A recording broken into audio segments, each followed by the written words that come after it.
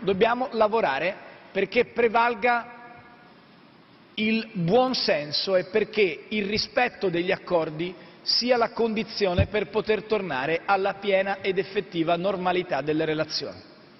In questo scenario, e chiudo, il ruolo dell'Italia è un ruolo sicuramente legato agli aspetti economici.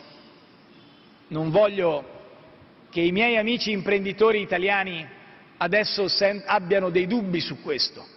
Siamo naturalmente in prima linea per sostenere la presenza non soltanto in Russia ma anche in Kazakistan di tutto ciò che può essere fatto insieme.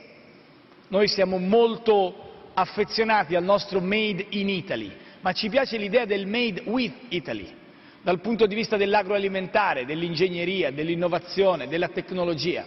Tuttavia mi permetto di dire che non è questo il punto centrale.